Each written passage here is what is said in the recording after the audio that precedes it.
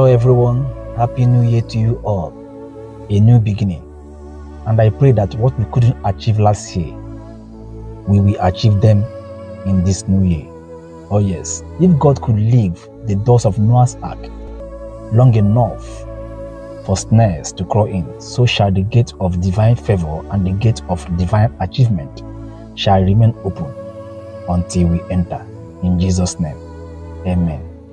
Please, if someone has wronged you, okay, make sure you forgive that person. Oh, yes. And if you have wronged someone, please make sure you ask for that person's forgiveness. Make sure you forgive everyone and make sure everyone forgives you. Okay? If you have wronged anyone, go and ask them for forgiveness. Okay? Because God's blessing begins with the purity of our hearts. So if you are expecting God to bless you, you must make sure you are in peace with your neighbor. You must make sure you are in peace with your friends. You must make sure you are in peace with your brothers and sisters. Okay? So make sure you purify your heart before you can expect God blessing in this new year.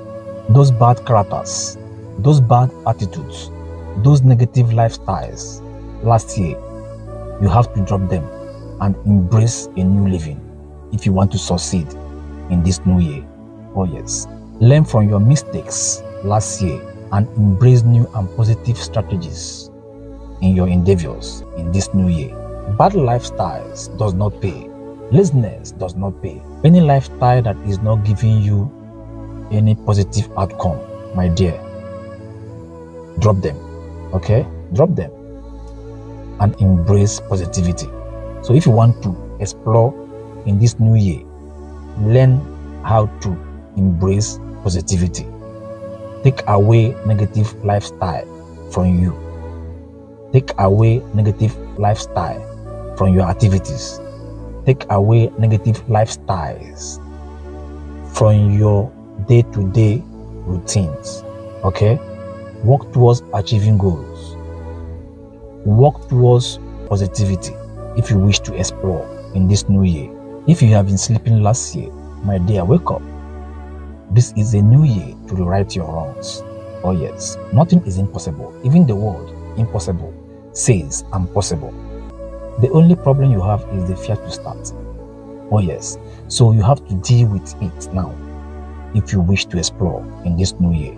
Any lifestyle that has been imposing a threat to your life, my dear, end it. Your life is more precious than any addition. He who has life has everything. When you have life, my dear, you have a future. When you have life, my dear, you have hope. So don't jeopardize with your life. Don't play with your life. Okay? Your life is precious. Okay? So anything you are doing that is bringing a threat to your life, my dear, stop them in this new year. Drop them and embrace peace. Drop them and embrace newness. Okay? My dear, it pays to keep your hands clean. It pays to do legit business. It pays to do legit jobs. Okay? Stop soiling your hands. Stop doing bad things because you want to make it. There is time for everything. Take life slowly. Focus your life. Take away envy from your heart. Okay? Learn how to appreciate people's success. Learn how to love your neighbors. Okay? This life is simple. Okay? Keep your heart clean. Keep your hands clean. And you will see yourself doing well. Work hard. Okay? Stop envying someone's success, my dear. It doesn't pay. I will keep saying this, my dear. It doesn't pay.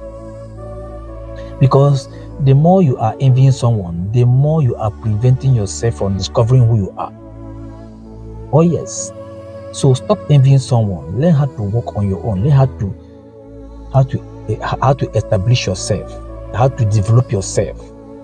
That time you will be wasting envying someone's success. You can use it to, to put something on your future. You can use it to establish yourself. You can use it to work hard and make yourself that person you are envying. Okay, this life is simple. Okay, so stop all these negative lifestyles. I'll keep saying it. Learn how to embrace peace in your life. Learn how to embrace clean hands, my dear. If you want to live long, if you want to live a fulfilled and peaceful life, learn how to keep your hands clean. Okay? In this new year, my dear, take my words very serious. I won't lie to you. Evil does not pay. Evil does not pay.